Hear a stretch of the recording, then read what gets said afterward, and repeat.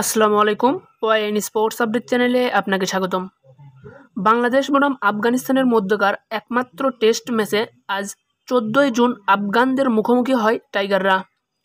Toss হেরে ব্যাটিংয়ে গিয়ে দিনের শুরুটা বেশ ভালোই করে বাংলাদেশ এবং সেই ধারাবাহিকতায় দারুণ ছন্দে প্রথম দিন শেষ করে বাংলাদেশ।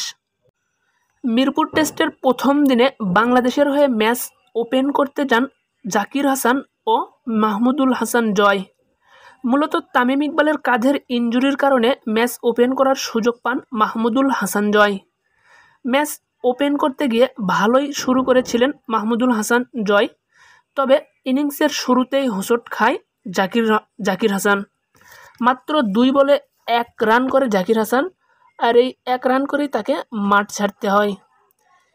এরপর মাহমুদুল হাসান জয় একশো সাঁত্রিশ বলে ছিয়াত্তর রানের একটি ইনিংস খেলেন। যেখানে তার নয়টি চার ছিল এবং স্ট্রাইক রেট ছিল পঞ্চান্ন দশমিক সাতচল্লিশ। ইব্রাহিম জারদানের করা বলে রহমত শাহের হাতে ক্যাচ তুলে দিয়ে আউট হন এই ব্যাটসম্যান এরপর নাজমুল হোসেন শান্ত একশত পঁচাত্তর বলে একশো ছেচল্লিশ রানের একটি বড় ইনিংস খেলেন, যেখানে তেইশটি চার ও দুইটি ছক্কা ছিল। তার স্ট্রাইক রেট তিরাশি দশমিক তেতাল্লিশ। তো নাজমুল হোসেন শান্তর এমন ব্যাটিং আপনাকে কতটা মুগ্ধ করেছে অবশ্যই কমেন্টে জানিয়ে দেবেন।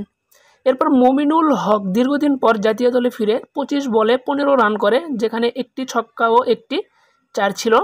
তার স্ট্রাইক রেট ছিল ষাট। এরপর টেস্ট দলের ক্যাপ্টেন লিটন কুমার দাস পনেরো বলে নয় রান করে আউট হন, যেখানে তিনি একটি ছক্কা গিয়েছেন ষাট স্ট্রাইক রেটে ব্যাট করে। এরপর মুশফিকুর রহিম ঊনসত্তর বলে একচল্লিশ রানের একটি ইনিংস খেলে এখনও অপরাজিত রয়েছেন। তার ইনিংসে রয়েছেন চার, তিনটি চার।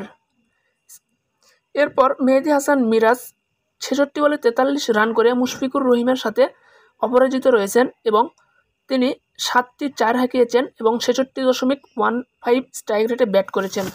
তো এখনও মাঠে রয়েছেন মুশফিকুর রহিম ও মেহেদি হাসান মিরাজ। অর্থাৎ প্রথম দিনের শেষে, প্রথম ইনিংসে এখনও তারা অপরাজিত রয়েছেন এবং প্রথম দিনের খেলা কিন্তু শেষ হয়েছে। তো তাদের পার্টনারশিপ হলো সাতানব্বই বলে বাহাত্তর রানের। সাতানব্বই বলে বাহাত্তর রানের পার্টনারশিপ করে প্রথম দিনের খেলা শেষ করেছেন মুশফিকুর রহিম ও মেহেদি হাসান মিরাজ। তো প্রথম দিন শেষে বাংলাদেশের সংগ্রহ পাঁচ উইকেটে তিনশো বাষট্টি রান এবং তারা খেলেছেন উনআশি ওভার। উনআশি ওভার খেলে তিনশো বাষট্টি রান করেছেন পাঁচ উইকেটের বিনিময়ে। তো এখনও মুশফিকুর রহিম ও মেহেদি হাসান মিরাজ তারা অপরাজিত রয়েছেন। দেখা যাক দ্বিতীয় দিনে তারা কেমন শুরু করতে পারে। তো অবশ্যই ভালো শুরু করবে এই আশা রাখা যায়।